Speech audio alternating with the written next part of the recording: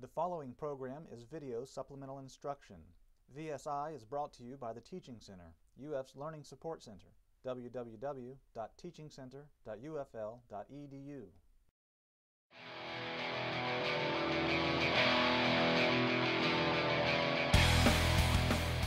Okay, and for 15, our last multiple choice question, we have one that does uh, deals with radial and angular speeds. So we have a pulley has a diameter of 20 centimeters. It takes 5 seconds for 50 centimeters of belt to go around the pulley. Find the angular speed of the pulley. So what's key in this problem is remembering that you can always translate between linear and angular speeds by this equation v equals r omega. Remember that the omega or w is your angular speed, v is your just regular linear speed. They're related by multiplying the angular speed times the radius. Let's think about what we're given in this problem. It takes 5 seconds for 50 centimeters of belt.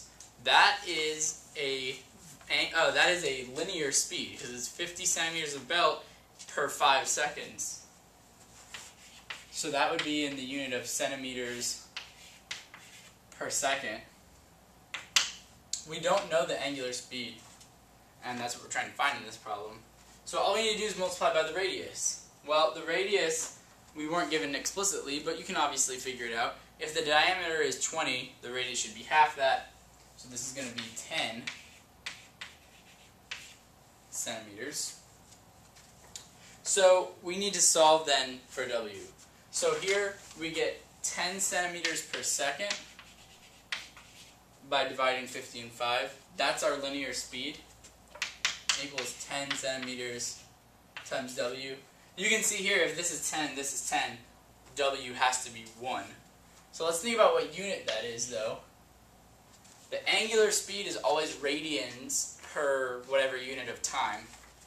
We're doing per second here, so this has to be radians per second. So W is 1 radian per second. If you look at your answer choices though, they're all radians per minute. That's a pretty easy conversion though. If you do 1 radian every second, how many do you do in a minute? Well, how many seconds are there in a minute? There's 60. So this is also 60 radians per minute. That is your answer, and that is one of our answers, answer choice C. The Teaching Center, UF's Learning Support Center, www.teachingcenter.ufl.edu.